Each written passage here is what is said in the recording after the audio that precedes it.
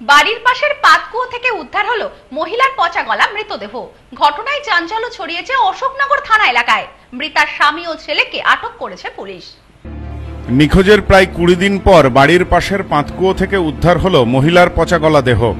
এই ঘটনায় চাঞ্চল্য ছড়িয়েছে অশোকনগরের শিশিরপল্লী এলাকায়।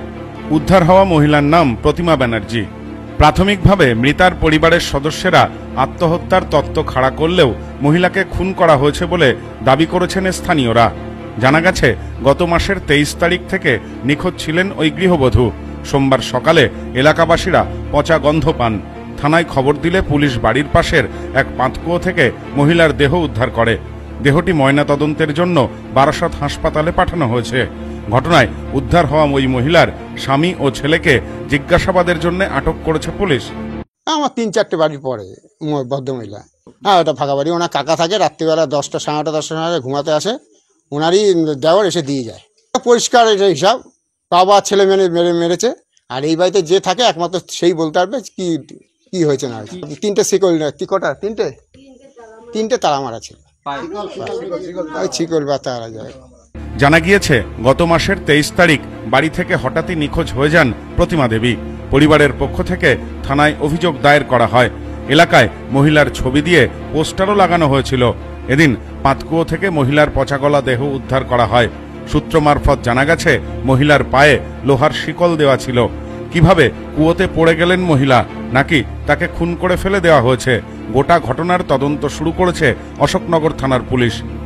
স্থানীয় বাসিন্দা প্রদীপ দাস বলেন পচা গন্ধ বের হচ্ছিল সকালে। আমরা থানায় খবর দিলে পুলিশ কুয়ো থেকে দেহটি উদ্ধার করে। ঘটনার তদন্ত শুরু করেছে পুলিশ। যে বাড়িতে মারা গেছে তার পাশে একটা জলের ট্যাঙ্কি ছিল সেই ট্যাঙ্কি ভিতর থেকে উদ্ধার হয়েছে। মহিলা। কি পচা গলা বডি? পচাকালা বডি। নাম ঠিকানা জানতে পেরেছি না নাম ঠিকানা আমরা জানতে পারিনি। পাশে ওটা পিসি পার্টি বলতে পারবে তার নাম ঠিকানা পিসি পার্টি জানে। একদম পচে গেছে। মাংস উপরে ভাসছে। উপরে চামড়া হামড়া সব পচে গেছে। এ বিষয়ে স্থানীয় গৃহবধূ পিয়ালি বাড়ুই বলেন, সকালে দুর্গন্ধ বের হচ্ছিল।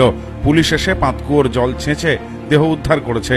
আমাদের ধারণা ওনাকে খুন করা হয়েছে, কারণ এর আগেও অত্যাচার করা হতো ওই মহিলার ওপর।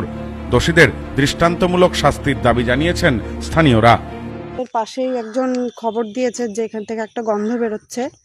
তো খবর দেওয়া হয়েছিল পৌরসভায়। খবর দেওয়াতে এবার ওরা পুলিশের লোক এসে এখানটা খোঁজাখুঁজি করার পরে তা জল আর কি বার করে, কুয়ার থেকে জল বার করে তারপর দেখা গেল যে ওখানে একটা কিছু একটা ভেসে উঠেছে লাশ মতো।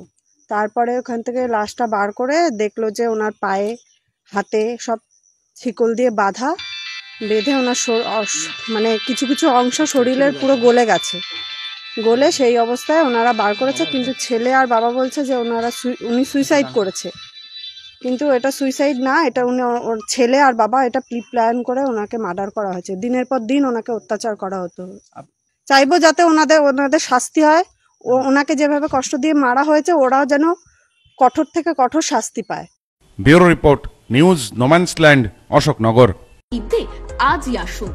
আমাদের ঠিকানা নিউ পিসি জুয়েলার্স বনগা বাটার মোড় নিউ পিসি জুয়েলার্স ব্রাঞ্চ বাটার মোড় বনগা। এছাড়াও PC jewellers beauty Bongaon Motiganj